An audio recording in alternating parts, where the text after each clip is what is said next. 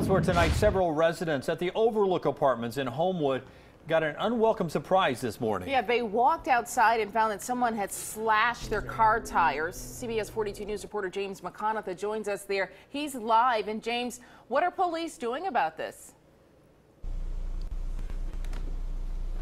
The Birmingham Police Department does not have any suspects right now, and Lieutenant Sean Edwards says cases like this don't typically get passed to a detective.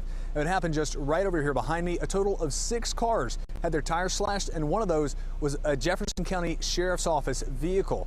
Uh, we spoke with several residents as they were out changing their tires. One told us the timing is just terrible. He said the extra expense is a burden, especially right here at Christmas. Both his car and his fiance's car had two flat tires each. We also spoke with Deputy Corporal David Green with the Jefferson County Sheriff's Office while he was changing his tire. He said crimes like this don't make any sense. He said perhaps it was mischief, perhaps it was revenge, but it is definitely frustrating for the victims.